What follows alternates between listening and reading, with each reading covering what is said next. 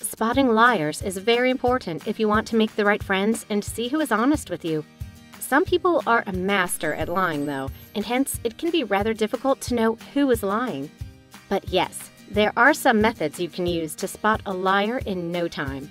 You do have to realize that these methods need to be applied adequately, so it is an important thing to understand them well and use them in different situations. In this video, we will explain 6 secret ways to spot a liar. Number 6. Liars don't mention themselves. Lies tend to be very complex or very simple. While a lot of things can vary in the case of a lie, you will notice that the liar will usually avoid mentioning himself the focus is on others because he can easily come up with stuff about other people. Yet, when it comes to talking about himself, the liar needs to come up with proof that he was there and so on. This is why you rarely see a liar mentioning himself. This is quite interesting if you think about it. If you see that a person talks about a topic and they seem to be lying, just try to see if they are mentioning themselves or not. If they aren't, then they are most likely lying in your face and thus you have to find out the right way to deal with that liar as fast as possible. Number 5. Liars are often pessimistic. You won't see a liar that has a positive attitude. Most liars tend to be focused on negativity, but that's great if you think about it. Such a thing will make a liar a lot easier to spot, and that's certainly one of those things that you have to use to your advantage. On the other hand, you do need to pay a lot of attention to what the liar says at that particular time. But if the person is constantly negative when it comes to their attitude, then something might be up. Number 4. Liars keep their explanations as simple as possible. People lie in various ways, so it's hard to quantify that. But you will note, however, that most liars tend to keep their explanations simple. The idea is that they avoid making up too much stuff. It's always harder for them to come up with the complex details of their lies. They prefer to keep it simple and say the main point of their lie. Make that story too complex, and it will be hard for you to keep up with all the information. This ends up being way too problematic for the liar. So, yes, he just focuses on keeping the explanation as simple as possible. It's important for them to have control and to remember each portion of the lie. Otherwise, they won't be able to remind themselves of everything that they have said. Number 3. When people lie, they use confusing words. Lies are meant to be confusing. If you start taking them apart, they will barely hold up most of the time.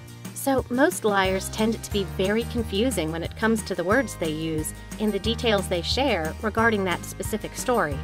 Any potential details that will showcase a confusing approach towards something should be a warning to you do keep in mind that whenever a person lies, they will always try to cover things up in one way or another. But the idea here is that as long as the wording is confusing, you may be dealing with a liar. Number 2. Liars will add a lot of details to a story that's pretty simple. We mentioned earlier that liars tend to make simpler stories, but there are situations where the story is simple, yet they have to make it more complex to insert the lie. In case you see that a person adds a lot of details to a simple story, that should be fishy right off the bat. There's no need for a lot of details regarding a simple story unless something is up. So, yes, you have to see what the liar says, and you have to figure out if he is adding it into the story. Sometimes liars will do this, so you have to study the story and see if it holds up. Then you have to think about things like why this story was too complex when it could have been easier. Number 1 Body language. Body language is probably the most important factor that reveals a liar. Liars tend to avoid eye contact. Liars feel they can hide their lie by not looking at the other person's eyes. Another interesting fact is that liars often touch their face, hair, or head when they are lying.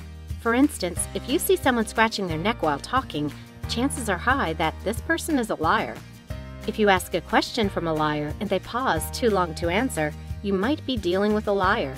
This is often because they need to think of ways to come up with another lie to answer your question. Most of the time, a person that has very strange body language, especially when he tends to be very nervous when he doesn't need to, might be a liar. People that lie tend to breathe very heavily. At times, their voice can be shallow, and the blood flow, their face color, as well as their heart rate will change mostly due to nervousness. Liars are also stiff and tense. And yes, due to nervousness, most liars tend to sweat a lot too. Things like crossed arms or ankles or shrugged shoulders can be a good indication that you're dealing with a liar. Remember, these methods are not foolproof, and it can take some time to master them, yet if you take your time and apply them rightfully, you will be able to spot a liar pretty fast. Thanks for watching, and remember to subscribe for more videos.